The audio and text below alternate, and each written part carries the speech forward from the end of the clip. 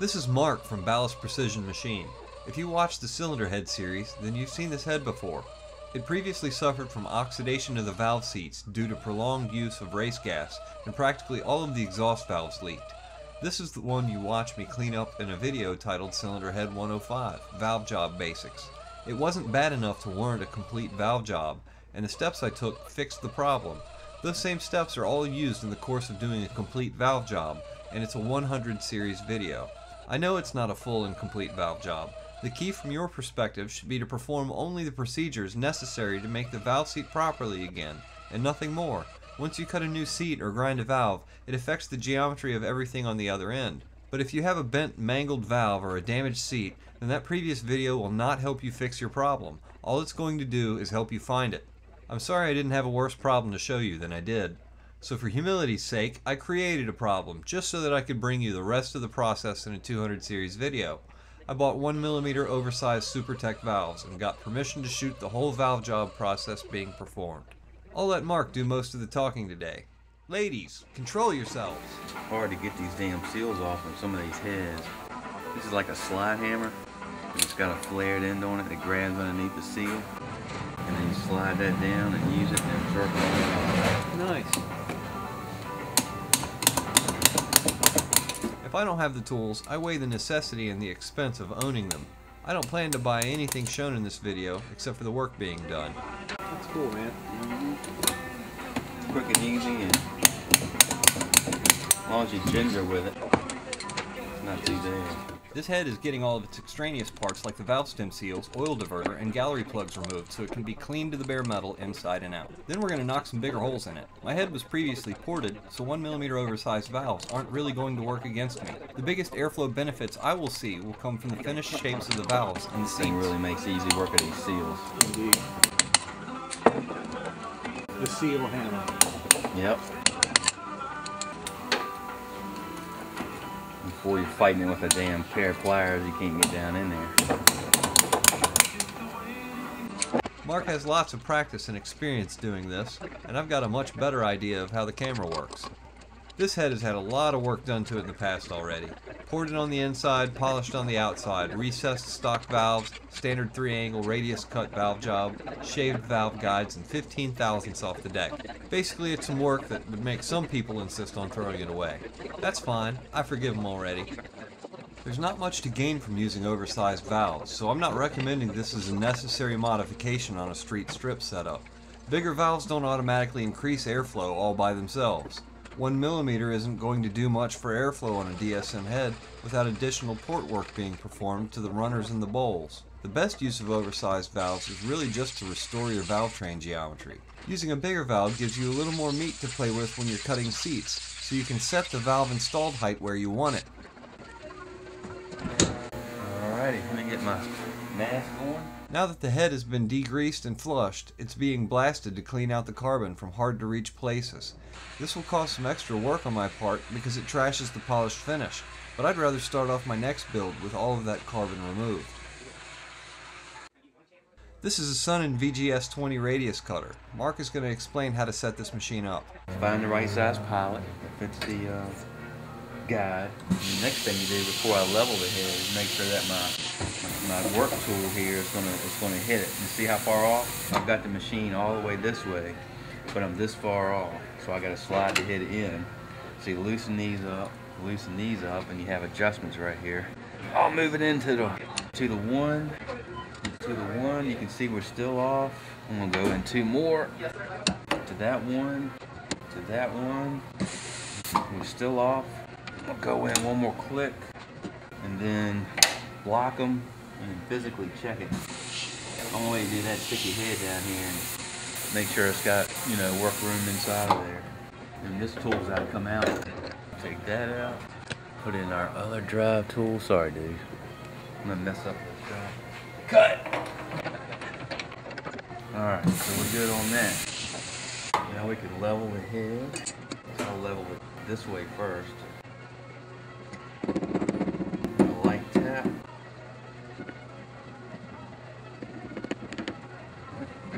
Level as a judge.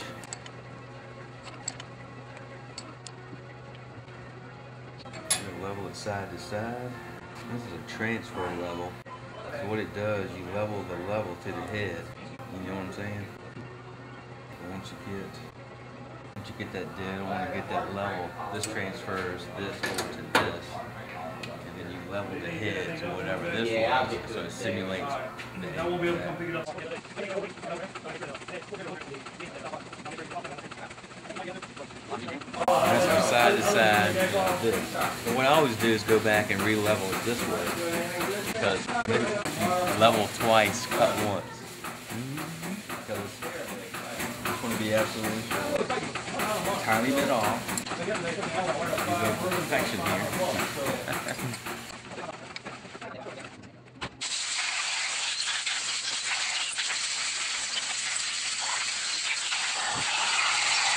Okay, so we're good.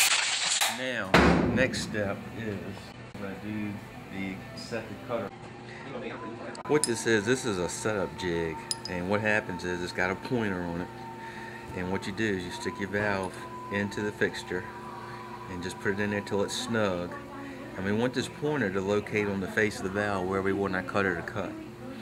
And so what we do is we loosen this up, and we loosen this up, and you take that pointer and on an exhaust valve on a performance valve job you want it just a little bit off say roughly 10 thousandths off the edge of the valve. All right so you kind of get your mark. It's still loose. You just put it kind of point it where you want it. Tighten the valve up. Take your finger and lock that in.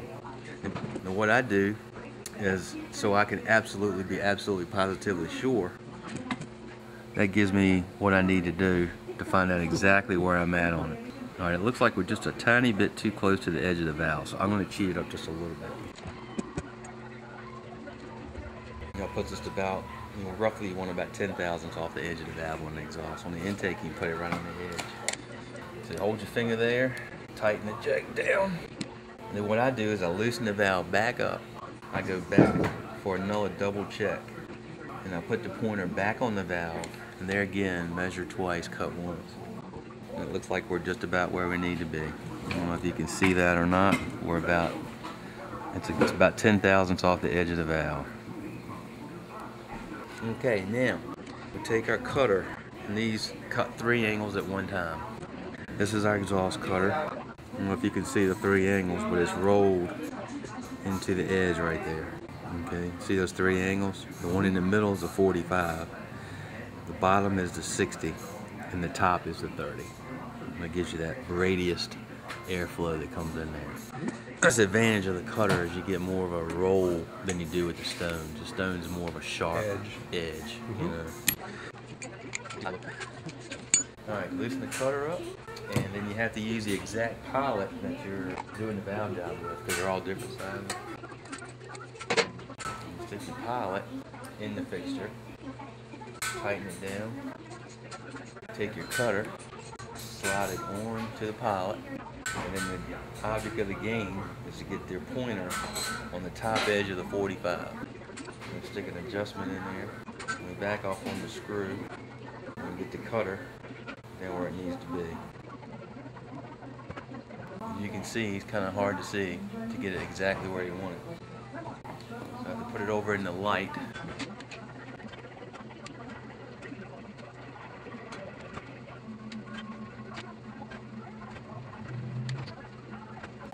Critical step that's got to be right on the money. I mean, there's no, can't be off anything.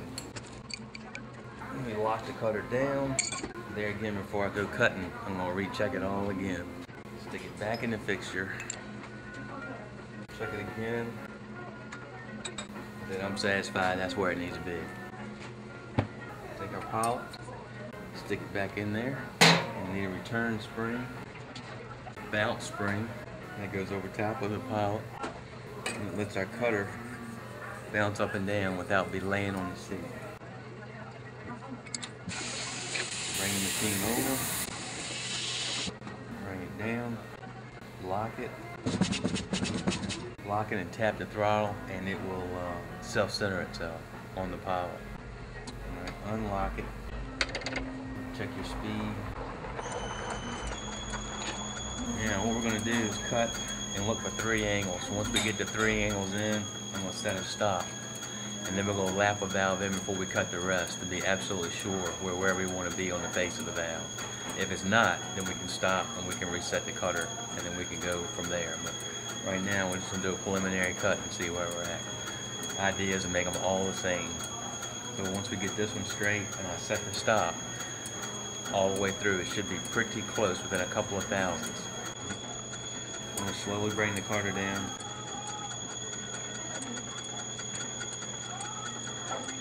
I'm starting to cut. We're putting an oversized valve in the head, so it's gonna make a, it's gonna move the seat out some.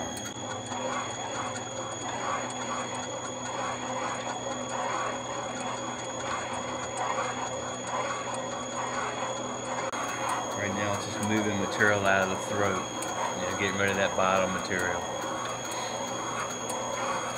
That's why the radius cutter is so good because it relieves all that bottom material. Instead of the air having to go all the way around it, it takes a lot of it out and just makes it a short turn.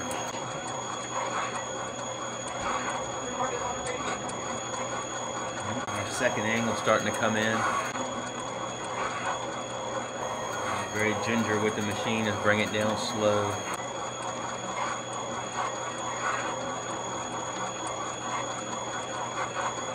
I'm using light pressure and just letting the cutter do its thing.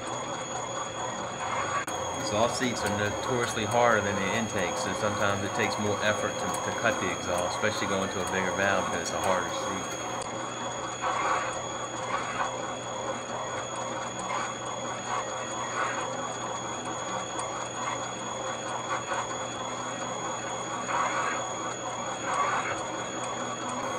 Alright, 45 is coming in, and I'm looking for that 30 degree angle to show itself. Right now, I'm gonna stop. I'm gonna set my stop. I mean, you, you, uh, of like I was praying on the I'm gonna move the machine. Your little jar, something like that, change I'm gonna wait. Now, I don't know if you can see that. You look at the bottom angle and then look for the transition into the 45. So you can see the difference in the angles. I got some to eat. Okay. Now I'm gonna look at it under the microscope. Alright, doesn't look bad. So at this point what we want to do is we're gonna lap that one valve in so we can see where it is on there versus where it is on the valves on the valve face.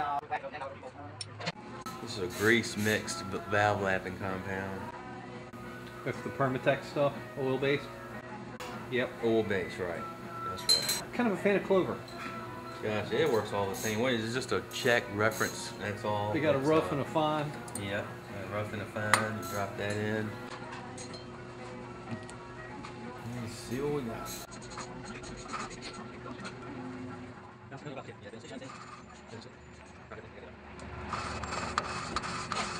Sometimes you laugh and you can hear the sound of it when it really gets grounded good. I don't do every one, I do one intake and one exhaust. And if I'm not sure something's right, I'll do another one.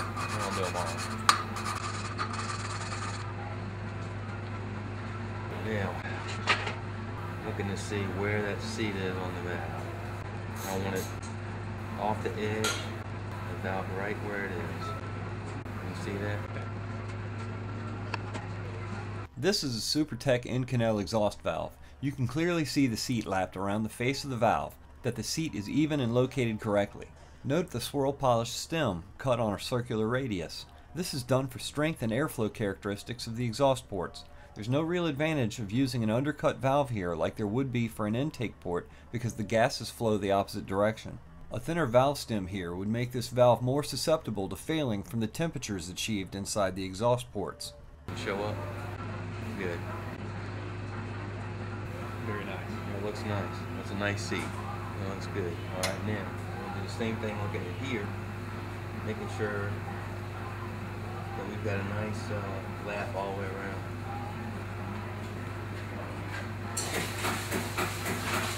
I'm also making sure that that 30 degree angle came in right above the lap. You see that little thin line, shiny line? That's a 30. 45 is the lap and the 60 is the bottom.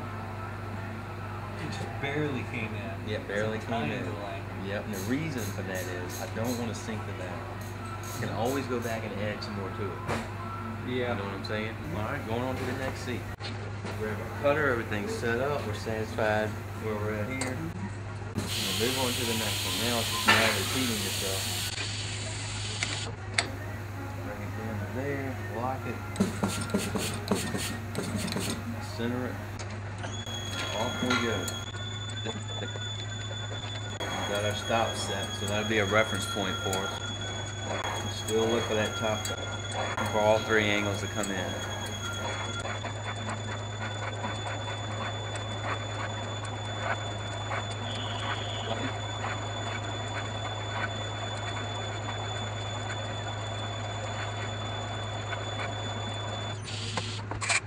Check the seat with the magnifying glass. Make sure it looks like the other one. Actually, I'm gonna cut it a little bit more. I don't see enough enough of the 30. So I'm gonna go back.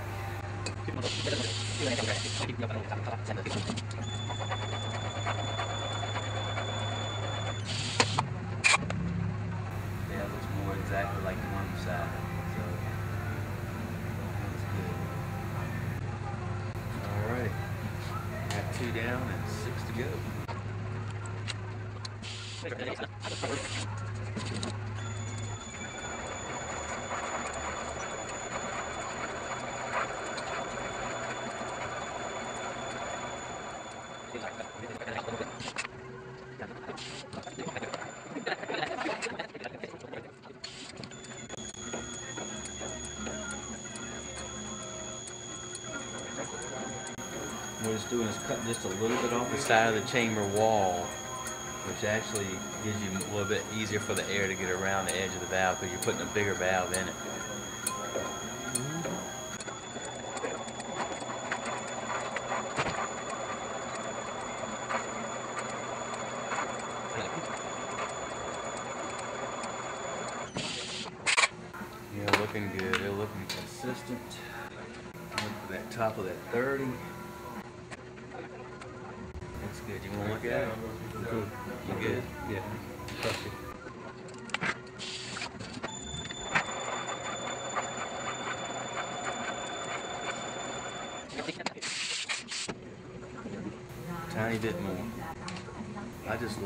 Uh, sneak up on it.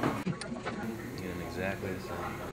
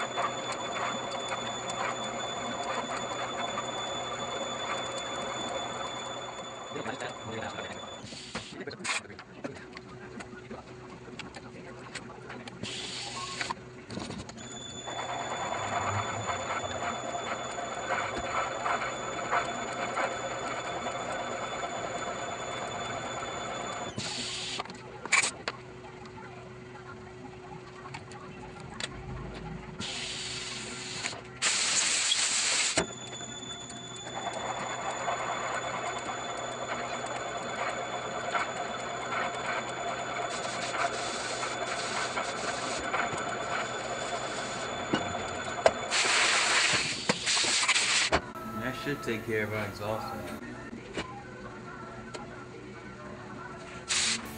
Cut that one just a little bit more. Mm-hmm. I'm particular about stuff.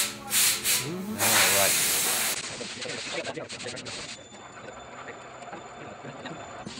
All right. And we are done with the exhaust side. Looks good. All right. Now it's transition to intake side. So we got to do the same thing. Find out where this is to relate to this. So we're to slide it out.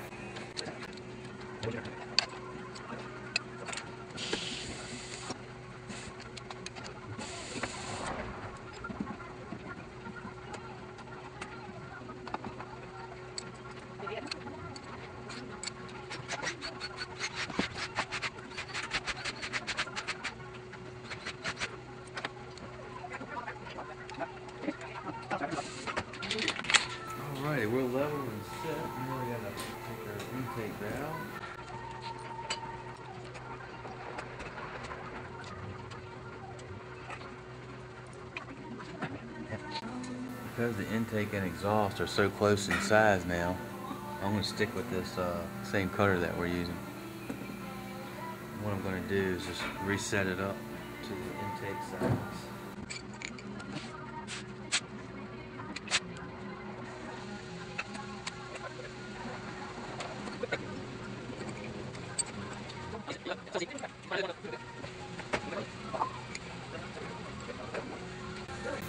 Wasn't satisfied with the setup, so I'm resetting it again.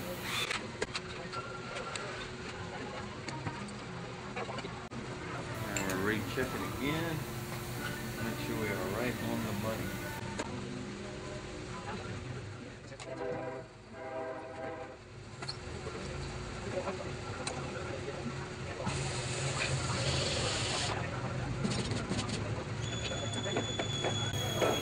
Oversized intakes as well? Yep.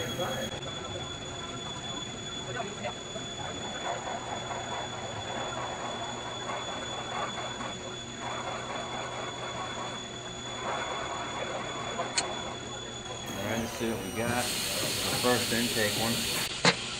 We want to give it a good look over and see where we're at. Mhm, Let's lap one in and see where we're at on that. Me get a close up of that valve real quick. Somebody commented on 105. That's not a valve job. You didn't even grind any valves. I don't really need to on this one because I'm replacing them. But in order to restore a valve seat, we're going to show you the valve grinding process. This is a stock 4G63 intake valve. There's previously nothing wrong with it to require this, but we're doing it anyway.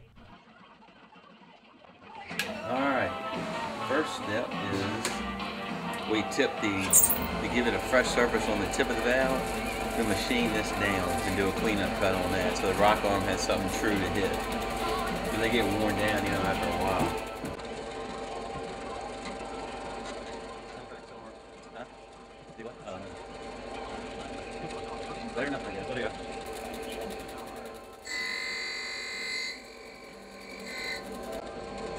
I'm gonna give this a fresh surface. See that? Alright. This is ground on a 45. We make sure the machine is set up for a 45.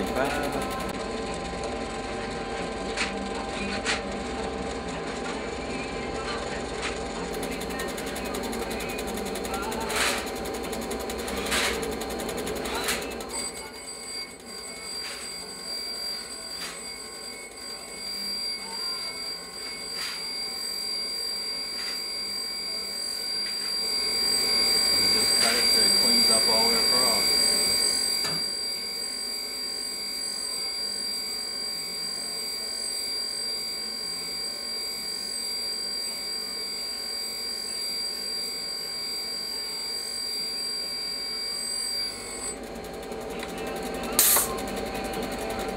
That gives you a fresh 45. You want me to put a 30, a back cut on it, like we were talking about? Yeah, if you could.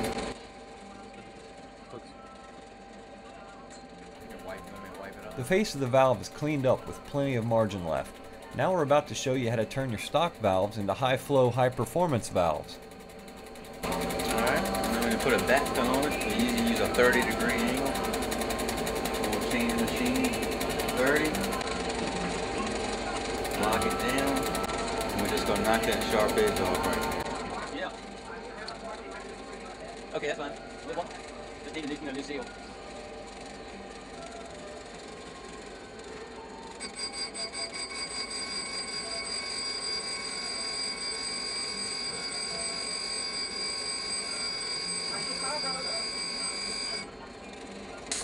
And that puts that back angle on Easy to see it like that. The other one was, had that coating on it. It was harder to see.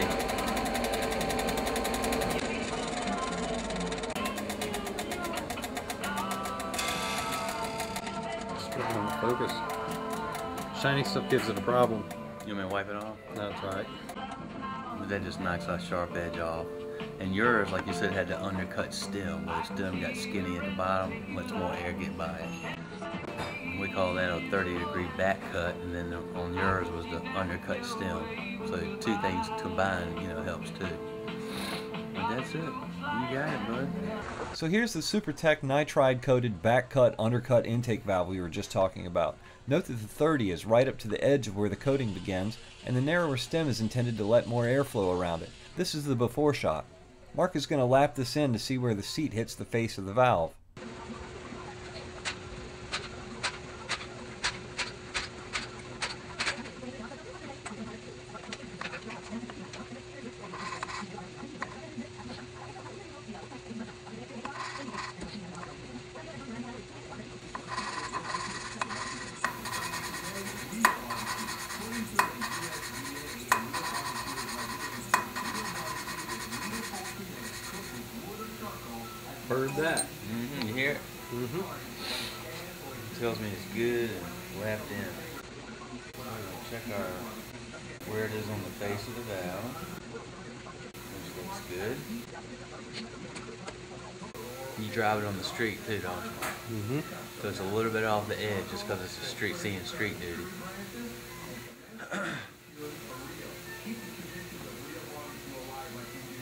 All it was was, is a track queen, we kind of move it all the way to the edge, but always keep that street in mind.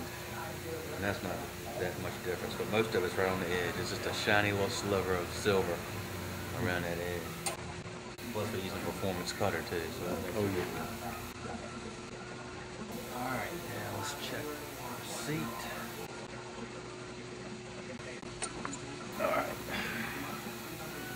Good, we're lapped in, we got our stop set. We've lapped one in, we got seven more to go.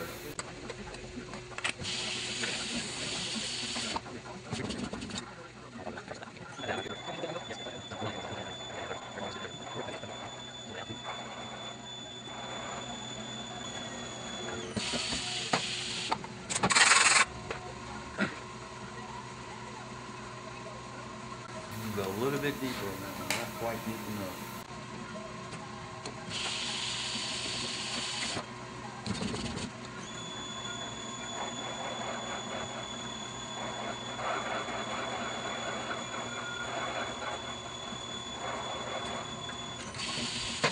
I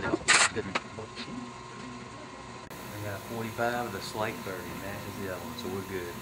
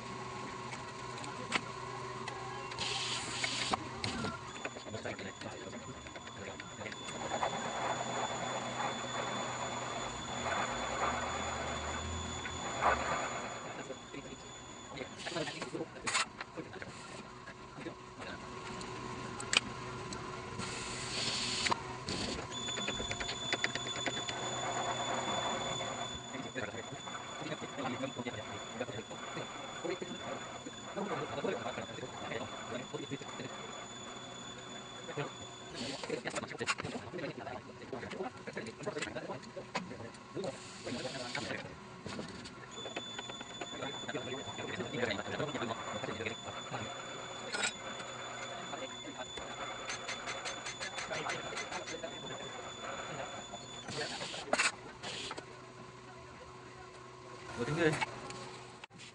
I'm sure a few of you are asking why I'm bothering with this if my previous repair was sufficient. My main reasoning for these modifications is to shorten my valve install height because my new cams offer 33 thousandths more lift than my previous ones. It didn't hurt that the materials and the design of the valves I chose were a vast improvement over the stock valves, but moving the valves closer to the piston gives my rocker arms a little bit more room to do their jobs properly. Shimming springs doesn't correct rocker angles. It's important if you're bolting a wild set of camshafts into your cylinder head to check with your machinist to make sure there's adequate clearance for the rockers and for the pistons. The right way to deal with valve clearance issues is not using a thicker head gasket. This valve job, together with my valve selection, the port work previously performed in the cylinder head, my new cams and springs, which we'll be taking a closer look at soon, should make this head move quite a bit more air. There are other conditions this work affects which we will be investigating during assembly. Alright, that takes care of the valve, job.